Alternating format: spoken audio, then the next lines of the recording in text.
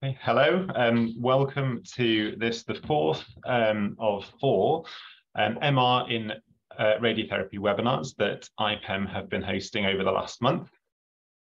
Um, I'm Jim Daniel, uh, I'm the head of treatment planning and brachytherapy at uh, the James Cook University Hospital in Middlesbrough, and I have a seat on the radiotherapy special interest group, um, and I'm chairing the session for today.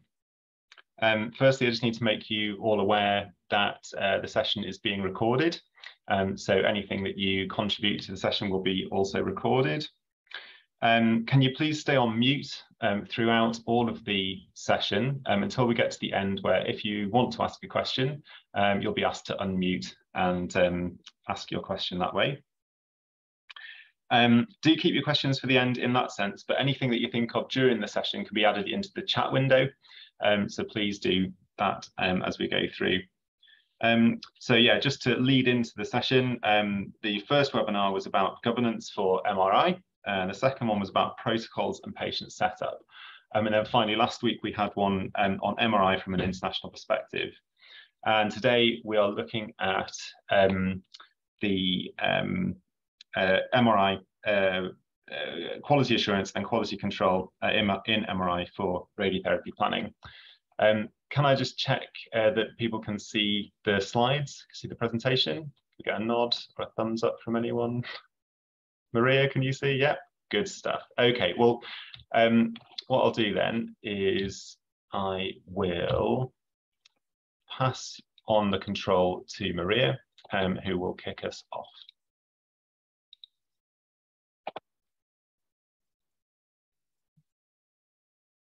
Maria, you're on mute. Okay, can you see my mouse, please? In the center of the screen, okay.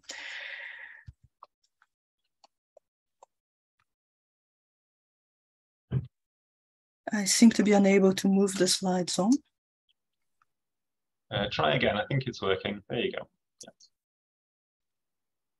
Yes, okay. So the first thing I wanted to do was to highlight our publication, the IPEM topical report, that is a, a guidance paper. Uh, just about everything that we'll be talking about today is in this report, and all the tables that are presented are in the report. The report refers to other IPEM documents, and occasionally I'll make some reference to the AAPM uh, report, which is a document of similar scope that is in broad agreement with ours. The discussion here is restricted to workflows based on CTMR fusion, where we combine the electron density from CT to the soft tissue contrast of the MRI. This is how most institutions get introduced into radiotherapy and is a most common workflow. This is just an example here. In this context, there will be many tasks undertaken by different people at different times, leading to the radiotherapy planning. The, the role of MRI in this context is to allow better outlining of tumor volume and organs at risk using the best soft tissue contrast that we can offer. MRI will be used to assess motion and thus to contribute to margin determination and to identify biological target volumes in some cases, perhaps using uh, functional imaging. So, sorry. This section is roughly divided in three parts. We are going to start looking at the auxiliary equipment with Stephen. And this is mostly for the benefit of MRI personnel because we are less familiar with that. Then I'm going to talk about the MRI examination in itself and the additional needs for geometric accuracy. And finally, uh, ben is going to talk about the CTMR registration. This is also mostly for the benefit of MRI personnel because we tend to lose sight of what happens to our images after they leave the MR unit. And it's quite important that we see the entire process. So at this point, I would like to hand it over to Stephen.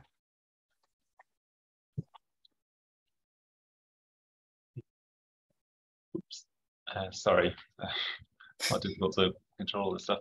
And I, I do realise that I made a rather poor job of um, hosting at the start there. Maria, did you, did you actually introduce yourself? I didn't introduce you. Uh, okay, I'm Maria Schmidt. I'm a clinical scientist. Uh, I have retired recently and I used to work for the Royal Marsden. Brilliant, thank you. Um, Steve, maybe you could introduce yourself as you as you begin your talk, and I'm trying to give you control, and I think you've got control. So yeah, hi everyone. Um, my name's Steve Headley, and I'm lead clinical scientist up in Newcastle. Um, and yeah, so as Maria said, thank you, Maria, for introducing us there. Um, I'm going to talk about some of the auxiliary equipment that we have on an MR scanner, again, mainly focused at those in the audience who are more from an MR background as opposed to radiotherapy.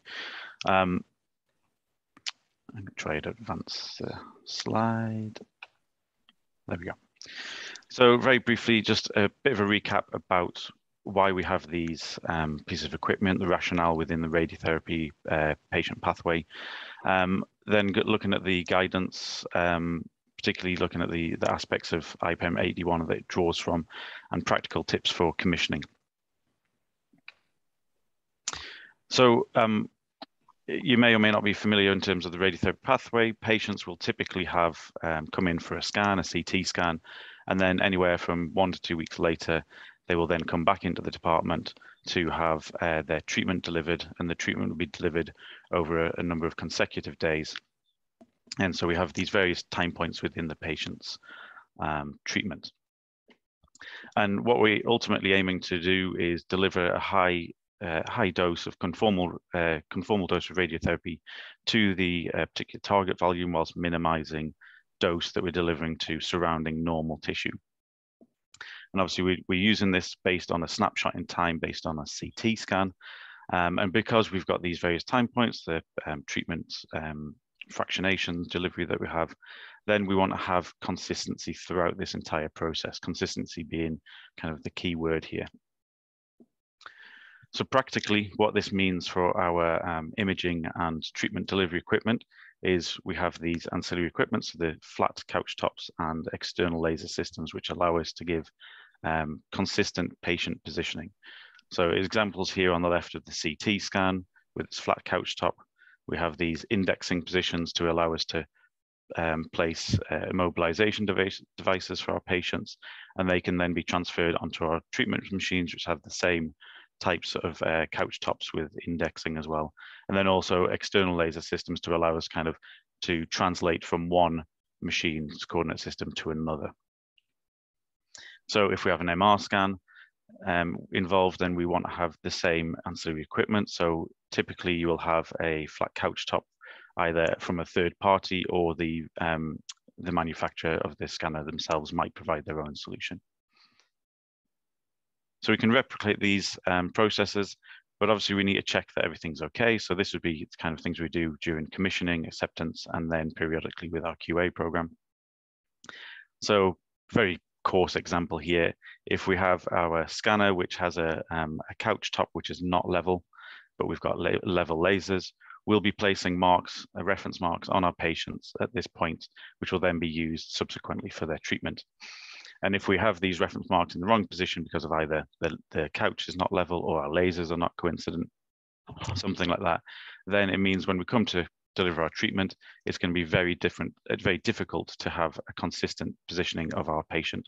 Patient might be uncomfortable and therefore can affect the quality of the treatment that we deliver. So that's basically why we want these systems and why we want them to be nice and level.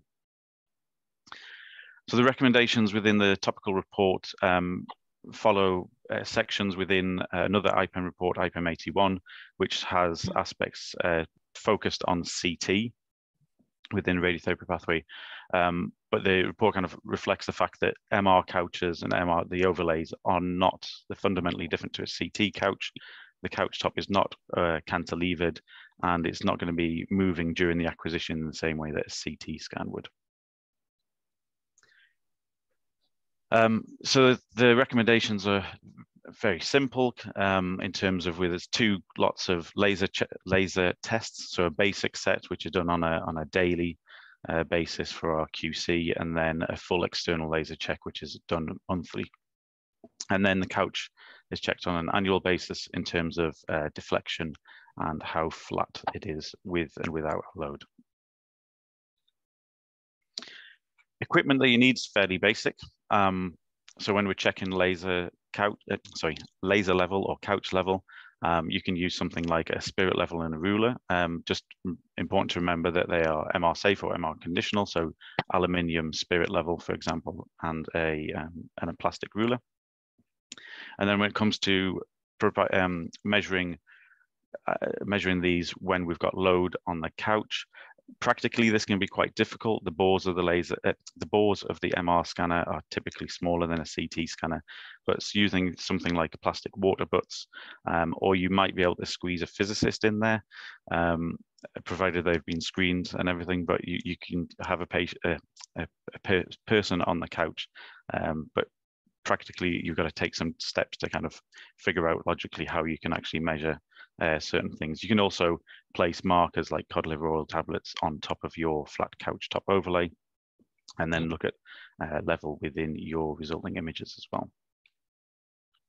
Um, other routes to doing this can be achieved through things like self-leveling laser. Um, these won't be MR safe uh, typically, so you've got to be careful where you have them within your MR environment or where your um, it depends on where the door is onto your into your scanner room depends on line of sights things like that. Or you can go back to basics and use a, a water level um, which is actually what we did with our scanner um, a couple of years ago during during covid um, benefits being that you can measure over a, a greater distance. And it's also going to be mr um, safe just remember though, if you do use that, remember to put a, a little surfactant into your uh, liquid so that you minimize your meniscus errors. Um, we also want to know uh, for our laser systems where it is in space relative to our imaging plane and whether the plane that it's uh, projecting is parallel to the imaging plane. So you need a phantom for this. This is a, an example for the phantom that we have, which was actually provided with the external laser bridge by LAP. Um, but basically, all you need is a phantom that um, has some external reference marks and internally has some corresponding um, markers that will show up on your MR scan. So some kind of fluid filled lines that allow you to check where your laser position is in space. And you can then, uh, you could potentially move this around to check the plane, um, how parallel that is to your imaging plane. So those are the, the, the basic um, checks that we need to do in terms of our checking our couch, our lasers, um, and the requirements for those for, for radiotherapy. Um, so I'll just say thank you, and I'll pass over now back to Maria.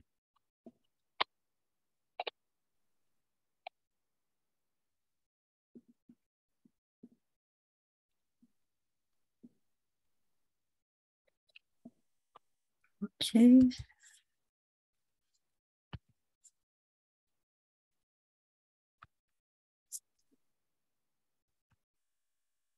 I'm still having difficulty to move the,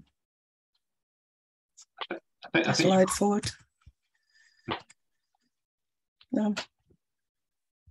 Not working, Maria? No. Uh, just try one more time. Yeah, okay. It's okay now.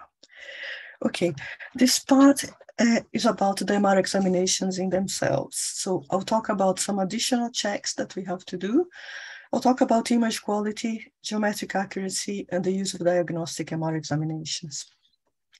The first thing we suggest in our report is to check the headers of uh, our images. We have a table in the report uh, with a number of fields that are relevant, and it's it uh, this, this suggestion is here because that's the only way to detect an operator error. An operator error could be, for example, the distortion correction not being applied, or perhaps uh, the wrong sequence being chosen. Uh, I would like to highlight to, um, to MRI personnel that we are used to see all this annotation in, in our image, in, in PACS, in, in the workstations. But in radiotherapy, they don't have access to as much information as we do directly. They still have access to the DICOM headers, of course, if they want to look look it up. But because they have many um, many data sets loaded at the same time, they usually recognize those data sets with a single uh, string like this one here is a generic label. To radiotherapy personnel, I must uh, highlight that those labels are absolutely generic. They do not mean anything. The, the number of the series uh, is irrelevant. If for any reason uh, a localizer is repeated, for example, the series are renumbered. And generic labels like T1, TSE, uh, there might be dozens of sequence sequences in a scanner with the same label.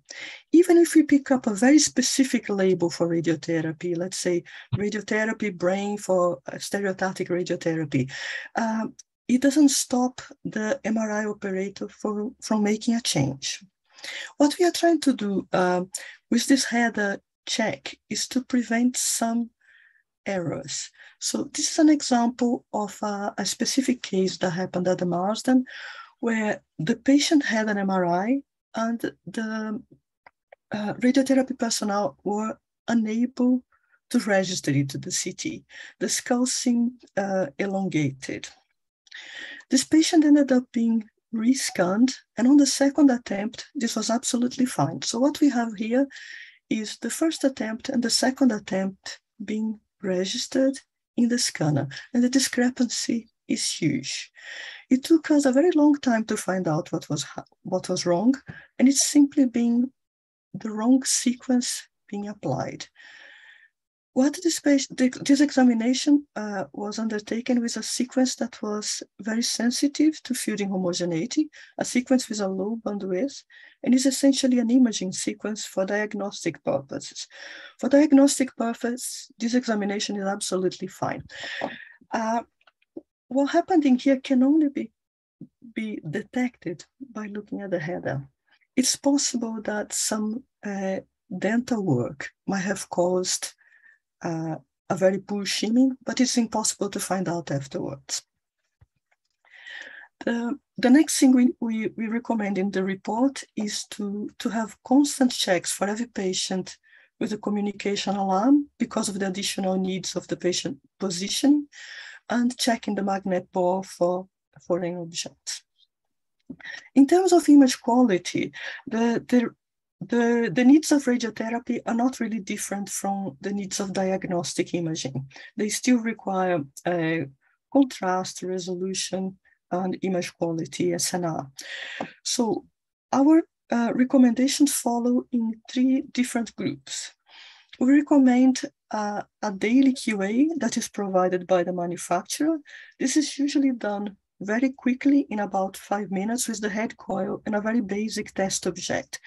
This uh, test is there to detect some major failures.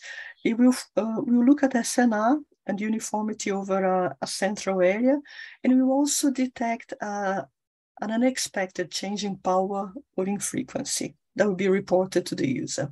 This is uncontroversial, most people will do that.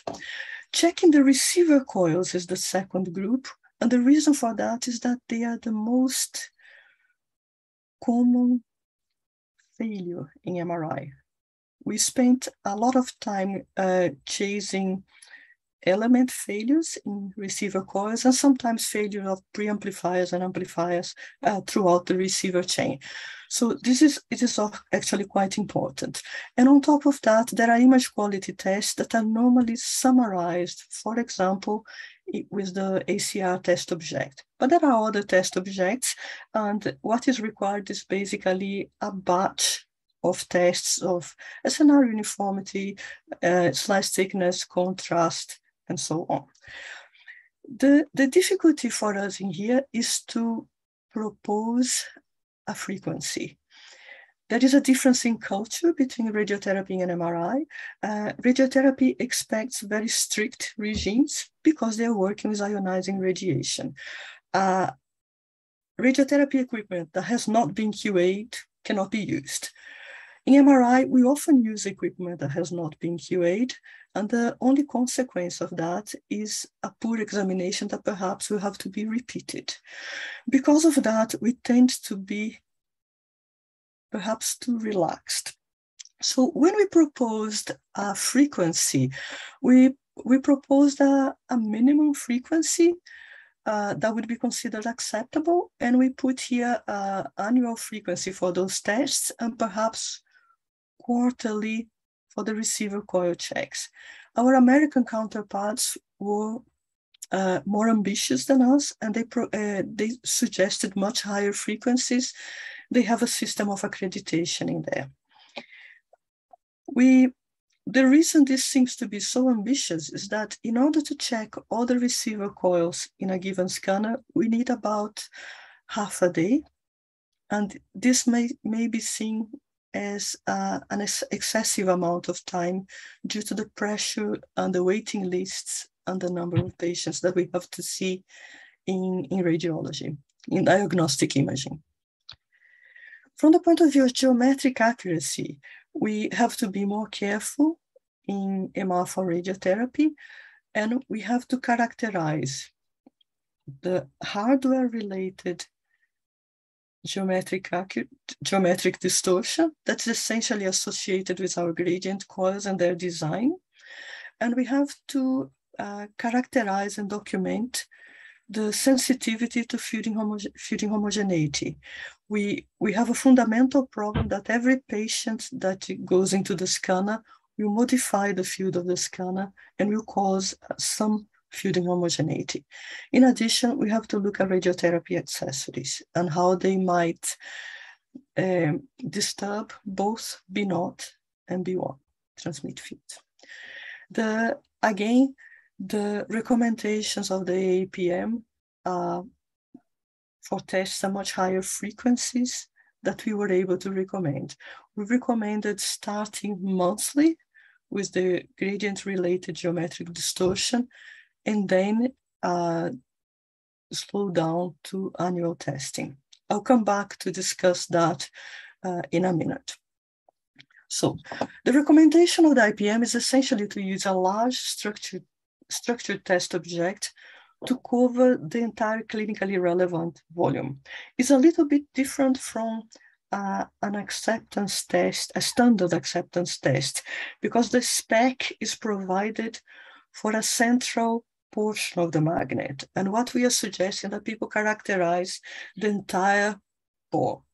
We suggest using a conventional 3D pulse sequence, uh, for example, 3D T1 spin echo, and to use very high uh, readout gradients to minimize susceptibility related distortion.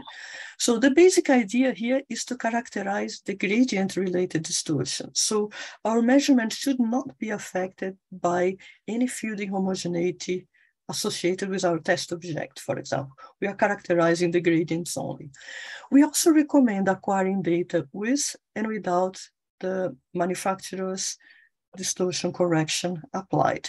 If we go without the distortion correction, we are characterizing the hardware. If we go with, we are characterizing a combination of hardware plus software. And in principle, it's possible that the software could change, for example. That's an example of our test object that gets pushed to the left and to the right so that we can look at the, at the entire bore. Those are commonly used test objects. If we purchase a test object to do a geometric distortion assessment, they tend to be large and heavy, with the possible uh, exception of the modus that only characterizes the, the surface of the cylinder and calculates the displacement within. A number of people work with home-built test objects as well, and that's quite possible to do that. Okay, if we if we purchase a, a, test object for assessment of geometric distortion, we get out of the, the commercial products test objects that are very accurately built and designed to minimize any magnetic susceptibility effects. They often include software for automated assessment, and that is very convenient and makes perfect sense for a system dedicated to radiotherapy. Somebody who does not have a system dedicated to, to radiotherapy may feel that this is probably too large an expense, and perhaps it's quite possible to work either by borrowing a test object from somebody occasionally or by building something else. If the test object is home built, then we have to use a CT as a reference for measurements on displacements. And we can make either direct measurements, for example, in a radiotherapy uh, treatment planning system, or use a deformable registration and then look at the registration parameters. Uh, a number of people use home-built test objects because they are quite convenient. Some of them are very light. This is an example of what we get uh, with a test object at the Mars. And This one is built of sets of rods at three orthogonal directions. Those are three projections where all the lines appear straight, and that's a 3D rendered view.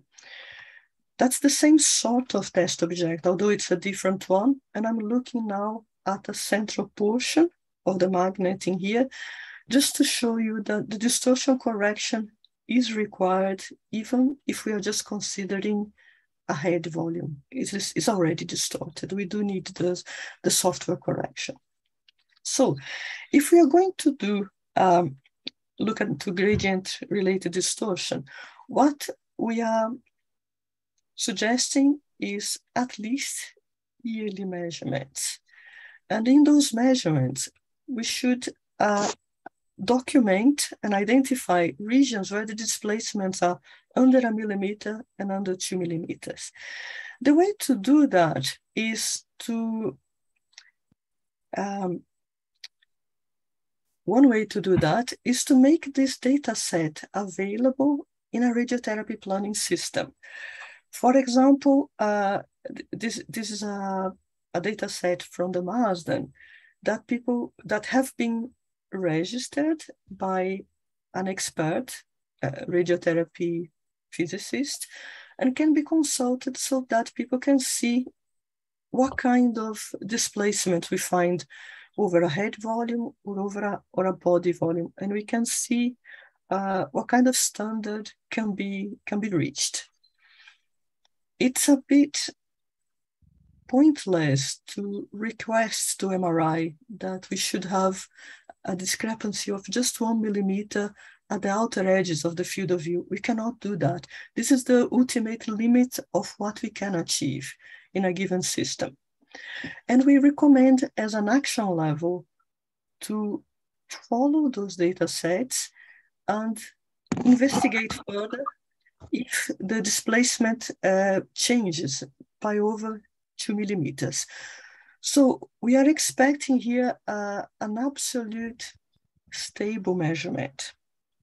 Two millimeters may seem excessive, but it's practically impossible that a control point will suddenly jump by two millimeters. The, the the distortion pattern is global. If I ever was to measure two millimeters of discrepancy, it would be at the outer edges of the, the test object.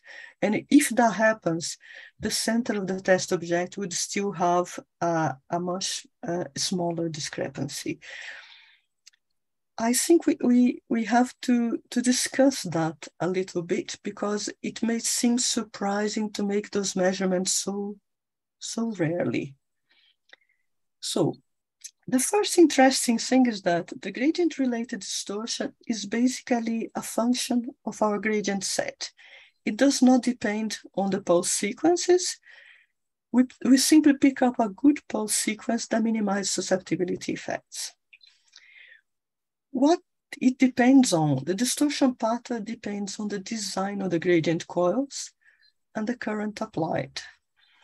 The current applied is very well controlled in a MR scanner because this um, relationship between the gradient amplitude and position is basically the core of the imaging system. So we don't really expect any changes here. And we don't expect any deformations of a gradient coil either. This is, I believe this is a, a picture of a reasonably modern uh, gradient. 15 minutes. I didn't drive. If I could say to me, wait 50 minutes in the car. I think somebody needs to, to mute here. Okay, thanks. What I was trying to say is that this there isn't a lot of uh, scope for a distortion of uh, a deformation of a gradient coil. They are built in layers, they are covered in epoxy to uh, prevent it from prevent it from making too much noise and vibration. So we don't really expect the, the, the gradient coils to change. I seem to have lost control, uh, Jim. Um, I think you should still have it, Maria. Do I? Yeah, I think so. There's nothing happening here.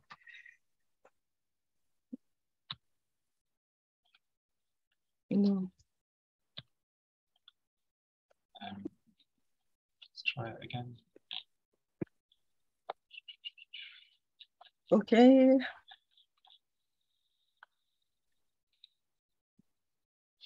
So it, it, it's telling me that you do have control.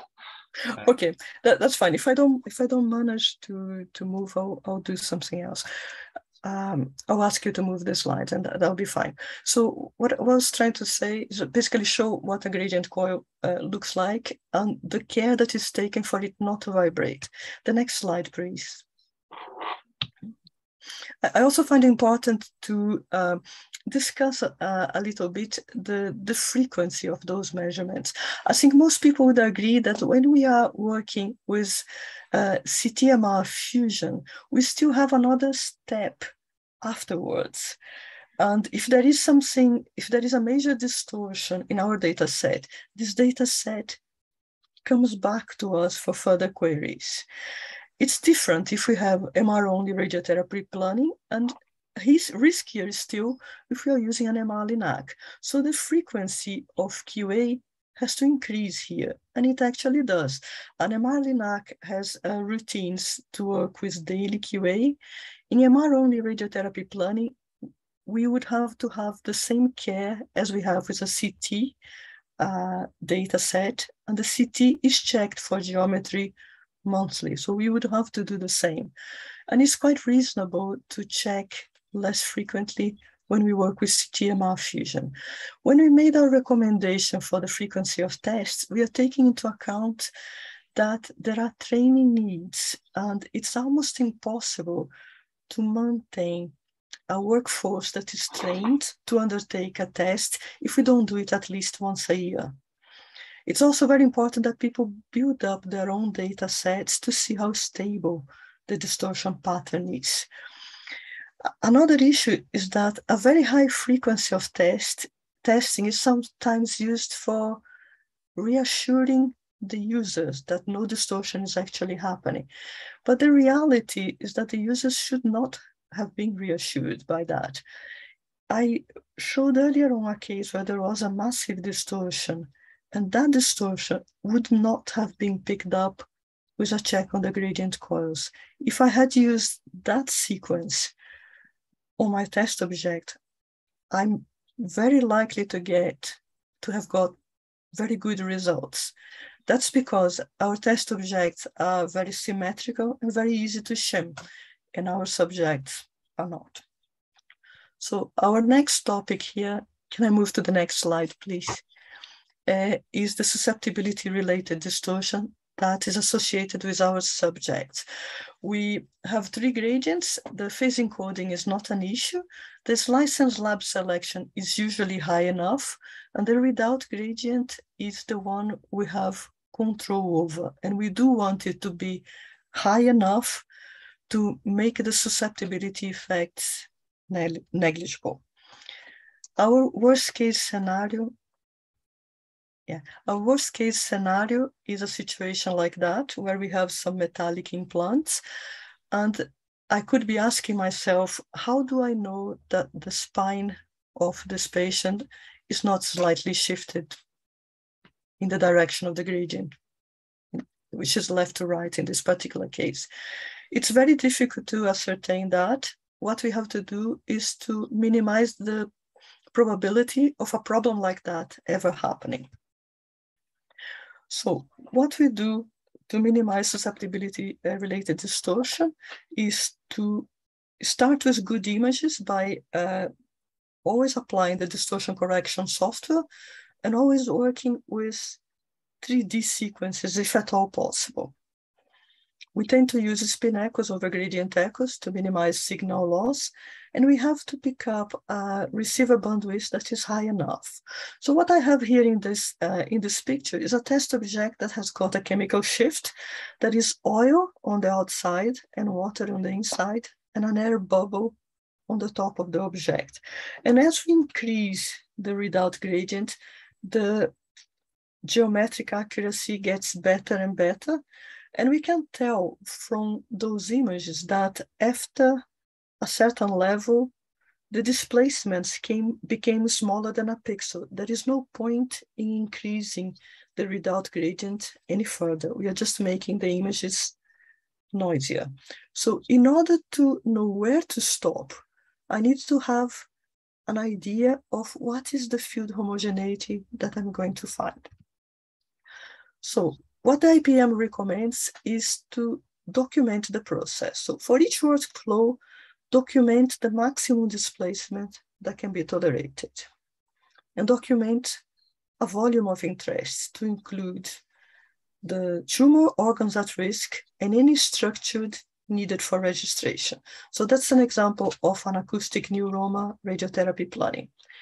This will be used by the operator of the scanner that was um, discussed last week. The operator will make sure that the field of view is adequate, will make sure that the shim box is relevant and no uh, additional uh, sources of inhomogeneity are introduced, introduced, and the operator will ensure that the volume of interest is placed at the center of the magnet or as close to the center of the magnet as possible. But prior to that, a clinical scientist has to set up the sequences. And the sequ clinical scientist in MRI will document the level of field inhomogeneity that is expected. There are many ways of doing that. One way, a very accurate way of doing that would be to map the field inhomogeneity over a group of patients. That's what we did in a paper, but in most cases that is not really necessary. We can consult the literature, and in most cases it's reasonable to use the fat water shift as an estimate. It's not reasonable to do that in the presence of metallic implants, for example. But in most cases, uh, this is a reasonable assumption, and we have to record that assumption. And then we document the expected displacement in the proposed sequence, and that has to be fed back to radiotherapy. What we are proposed, we, we have a table here to in, in the in the report to help people to, to do that. What we are trying to do is to encourage a multidisciplinary approach where radiotherapy tell MRI what is the volume of interest and what is the displacement that can be tolerated. And MRI estimates the field inhomogeneity and the displacement. And those numbers have to tie. And then we end up with an examination that meets the requirement of the users. Uh, because there is a lot of uh, radiotherapy personnel, I would like to highlight here as well that we can do very, we can get very robust post sequences. That's an example of the three uh, worst offenders in terms of foreign bodies find, found in MRI, commonly found in MRI scanners. I found that the worst offender is the hairpin. And I did uh, an experiment where I placed the hairpin inside the magnet. I'm suggesting you do not try this at home because the last thing you want to do is to lose a foreign body inside your, your couch. This was done with a great deal of care. The hairpin is inside a container and taped up so that it, it won't cause any harm. We have images without the hairpin. We put the hairpin and allow the system to reshim and achieve the best fielding homogeneity that it can. And that is the difference. While all of that is happening, the field inhomogeneity reaches about three parts per million, there is no chance fat suppression will work for this subject. But, but the accuracy is preserved. It can be done. That's what I'm trying to say. It can be done. And my final topic is the use of diagnostic MR in radiotherapy planning. We do not recommend it with the possible exception of uh, cranial radiotherapy because there are um, many protocols with high bandwidth being commonly used and the, the images often achieve, the 3D images often achieve uh, good quality for radiotherapy. So we propose a set of parameters that have to be checked, and we propose uh, additional care in the registration. We also refer in our report to end-to-end QA uh, with workflow uh, applied to the to the test object in MR and CT. And uh, the advantage of using those systems is that all aspects of the MR CT fusion are QA'd. However, this may not re uh, reproduce a clinical situation. At this point, I would like to pass, pass it over to Ben. Okay. Sorry, Ben, I think I want it on an extra slide there. Do you want to introduce yourself Ben before you start? Will do. Um, my name is Ben, and I'm uh, the lead Linac physicist um, at GenesisCare, based in Oxford. Um, and uh, this section is about quality assurance for the MR to CT image registration process. And so, um, sort of overall aims and scope of this section were to, for us to give some clinical examples of image registration and to discuss sort of some practical elements of how to commission and QA that process. Um, we have a recommendation that centres follow um, the principles from AAPM TG 132 um, and sort of give, again, as I say, some practical advice on, on how you can be compliant with those recommendations. And um, we recommend rigid image registration is used in clinical practice. Um, and the, the key messages for us in this section um, are that that CT to MR, sorry, MR to CT image registration really is a significant component in that whole workflow um, to really take, um, to make the most of those images. Um, and is really important um, in bringing that benefit of MRI to radiotherapy. Um, the MRI to CT registration method used for each site should be documented, and we recommend that this is done in um, clinical protocols, um, there should be a QA program um, to, undertaken to characterize the ac accuracy of different registration techniques used, and um, that there should be clear communication of the registration success and what clinical utility there is, and this should follow a standardized format. Um, so there's some really good literature in this area. I'm not going to um, and that we obviously can't include um, all the details in, in our report, but if anyone wants to sort of um, get a deeper understanding or, or, some further background onto this, um, there's obviously the AAPM um, TG 152 report, and there's some other things as well. Um, so I definitely recommend these for some for some more theory and a bit more in depth in some of these topics. There are four steps to the image, image registration process. Uh, first is to import the MRI and CT datasets into your software. Secondly, to perform an initial manual registration. And then moving on to define an ROI based on the anatomy. So we can, um, um, if required, to hone our registration to the area of interest. And finally, to perform um, an automatic registration using the software, either globally or using that ROI that we've just defined. Um, so just some points to sort of think about for each of those steps. In terms of importing MRI and CT datasets, um, there can be differences in um, how software treats this, but broadly speaking, registration software will assume that MR images acquired in the same session are in the same position.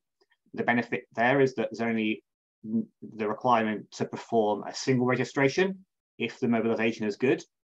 However, um, if the patient um, move between different acquisitions, then there's a requirement to register all those um, different sequences separately. And how to do this, you need to figure out how to do this and how to determine the process of doing this during the commissioning of your um, MRI to CT registration process. Um, and look at how to create those separate transformations and document the process that you need to go through. And it may be that some workarounds are required to sort of unlink the MR images so they can each be registered individually. The next step is to perform that initial manual rigid registration. And this is just to act as a seed point to align the MRI and the CT um, sort of focus on the, um, the region that we're going to use for contouring. So when looking to define an ROI to guide the registration, this should um, be an ROI that encapsulates the anatomy of interest and we need to consider patient mobilization and uh, any anatomical differences between the MRI and CT images. And finally, to perform a global um, or local automatic uh, rigid image registration. And a key point here is sort of depending on the stopping criteria for the automatic match, it may be possible to improve that registration um, by repeating the, um, that step if the maximum iteration is, is, uh, is reached. Um, and just some clinical examples for three different sites of sort of how to define or how we recommend defining that guiding ROI and some key points to consider. So in the brain, um, uh, it's key to ensure that um, both the MRI and CT uh, taken a suitable time post-surgery if, if, that's relevant to allow um, any swelling to reduce. And we recommend that limiting the guiding ROI just to the cranium and excluding the mandible and neck where there's more likely to be potential movements that can reduce that registration quality. So in the image on the right here, the yellow box is the um, guiding ROI that we're recommending. In the abdomen and the thorax, um, if the image is acquiring in breath hold with good immobilization, then a global rigid registration is recommended. However, just due to the deformable nature of the soft tissues, that can cause differences where that, um, that require a guiding ROI. And that should be limited to just the organ of interest. So in that example there, that guiding ROI is just limited to the liver to focus on registration there, because potentially of um, some changes in anatomy elsewhere that that um, that were um, reducing the quality of the match for a global um, rigid registration. And if there are any deviations from the protocol, for example, like using that guiding ROI or the regions that have been compromised by using it, they should be documented on a per patient basis. Um, and uh, come to that again in a second. And finally, um, example here in the pelvis, um, the soft tissue changes in bladder and rectum fairly common. And we recommend that a local registration um, with a guiding ROI is optimized the anatomy of interest. Uh, a two-step process here. Firstly, including the bone anatomy, so the, the larger blue box, um, and then narrowing that down to just the tissue of interest, so in the yellow box there. However, in cases where the anatomy of interest is very close to the bone, then just the bone-based rigid registration um, is could be a good surrogate for that soft tissue. So in terms of commissioning and the per patient QA required, um, in AAPM, they refer to validation. We would call that commissioning. Um, and here the aim is to evaluate the entire workflow to characterize how the software, the algorithms and the data transfer handle patient data. Uh, we can use phantoms, both physical and digital, to provide a ground truth for assessment. And this should be performed when setting up a new service or there's significant changes to software or hardware. And then on a per patient um, basis, there's individual patient verification. And the aim here is to ensure that the accuracy of the specific registration uh, that's been used um, for, for a given patient is acceptable for that, for that intended use. And we have qualitative assessments here because there's no known or expected result to compare against. Um, so I've taken this table on left here from our document. I'm not going to talk about every test in detail, but um, we recommend a, a, sort of suite of tests for the commissioning and um, um commissioning process. Um, uh, th these tests are all discussed in our document and there's um, sort of further discussion and and, and of them in various literature. So, for example, in the AAPM report, uh, recommend uh, has a good discussion of all these tests as well. And in terms of per patient verification, there's a, a qualitative assessment here that we um, recommend by two independent people. So that would be the operator of the um, of the software who's producing the registration and the end user. And they can use various tools that are included with most uh, registration software, so a split screen or a checkerboard, the image overlay, contour mapping, and, and difference images to determine um, the quality of that assessment. So um, in terms of request and um, report documentation, so we recommend that um, there's documentation which communicates what is expected from the registration required, and that comprises of, of, two components, a request from the oncologist that there is a registration between an MRI and a CT, and then a report from the operator on the quality of, of that assessment. And these should form part of the patient's treatment record. For that request, we're, we're not suggesting here that every single individual request has its own sort of um, uh, in, individual registration has its own request, but that process should be included in the documented in the clinical protocol. So it's sort of part of the patient's treatment anyway. Um, that request and in that protocol, it should sort of discuss the structures that are going to be contoured on the MRI so that we can identify the region of interest to focus on for the image registration.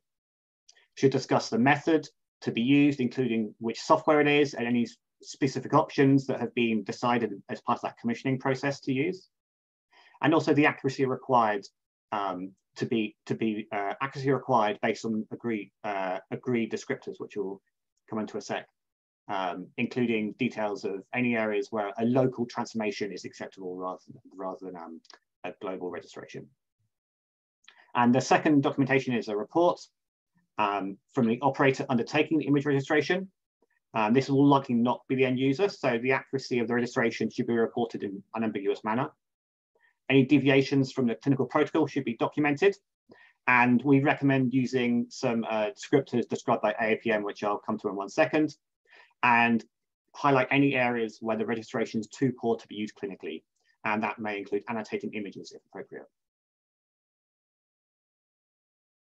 Um, so finally, this is uh, a table which is not in our document. It's taken from AAPM 132, but we recommend that it is used, which has a sort of um, standardized descriptors for the quality of uh, registration um, with sort of five levels there. Zero, where the whole scan is perfectly aligned and useful, and the whole um, image can be used for structure de definition and perhaps um, appropriate in high dose uh, SABR localization as well down to an assessment of four, where there's um, no alignment is acceptable and um, um, it's not it, um, it's unable, unable to align the anatomy to acceptable levels, um, potentially because the patient uh, position was too great between the scans.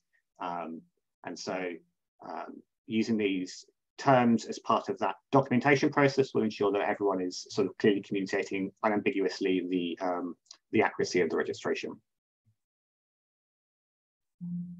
Um, so I'd just like to thank, on behalf of the, the three of us presenting, um, acknowledge the, the entire working group. There's a selection of us there from one of our meetings up in um, up at IPEM HQ, post-work beers.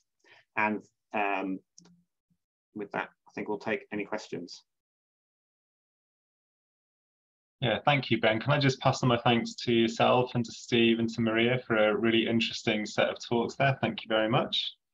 Um, in terms of the questions, um, we've had one question in the chat, um, which Steve has responded to. I'll just read it out so that people can um, hear it if they haven't seen it, um, which was about safe um, spirit levels for MRI and a sort of a lack of available MR safe spirit levels.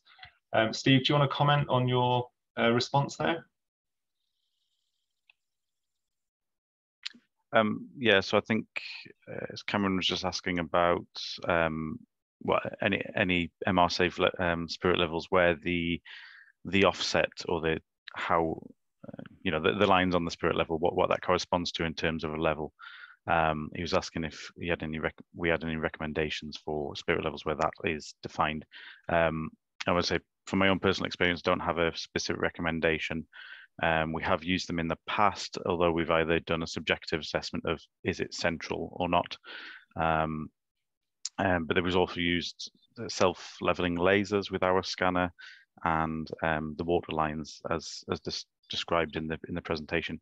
But um, uh, that might not work for every center. I realize that. Um, uh, we also have a mechanical workshop near us. We could uh, quantify or determine what that angle offset is locally as well. It depends on what, what you've got available to you, I guess. Well, thank you. Um, and are there any other questions from the, uh, the audience today?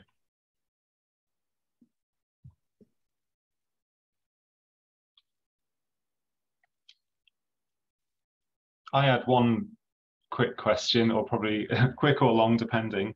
Um, it was for you, Maria. You mentioned um, that you often use um, non-QA'd equipment for, for MRI, and, uh, and you sort of mentioned there could be no consequences for radiotherapy of doing so. And I, I thought, I don't know if that's always true. Do you think there are consequences of using non-QA'd equipment at times?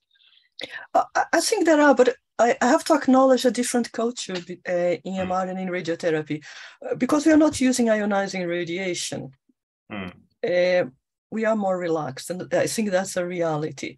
We find very difficult to fight for scanner time to do uh, the work that we have to do. And our work is not only QA. I think we spend more time trying to sort out protocols that fail for a number of different reasons, uh, artifacts, motion, and some protocols are, are very, very difficult. And the, the QA sometimes is, is pushed to the side uh, by fault finding. Sometimes you, you have to deal with an error and then that takes priority. So even when we, we, we schedule the QA, sometimes it gets pushed to the side. And I'm, I'm not alone on that. This is the reality of MRI. We, the QA doesn't have the same status. That's the so radiotherapy QA do you not i mean total ignorance i suppose but i suppose you don't often make a change to um, any part of the scanner on the basis of QA. That's not a frequent thing that would happen. It does happen actually. It does happen. We we detect problems when we do QA. In fact, uh, that that's uh, that's an area of, of uh, great discussion because uh, some of our coils have really many elements now of the order of 30 different elements. And if one of them fails, it's very difficult to see that in a clinical image is, is almost invisible. If you don't QA the coil, you don't see that in a particular part of the image, the SNR is lower. The SNR is often position dependent now and depends on how the coils are combined. So it, it's, it's actually quite involved. And uh, it, th there is an obvious benefit in doing that. It's, it's very often that we find that there is a, a fault in a coil and it hasn't been noticed. Yeah, sounds like a really long discussion. I want to ask more questions, but I'm not going to. I'll just pass it back one more time to the audience. If anyone has anything um, they'd like to add, would you like to um, jump in? Um, otherwise, we are bang on time to finish at half past one. So I'll give you 20 seconds just to say anything you want to. Anybody?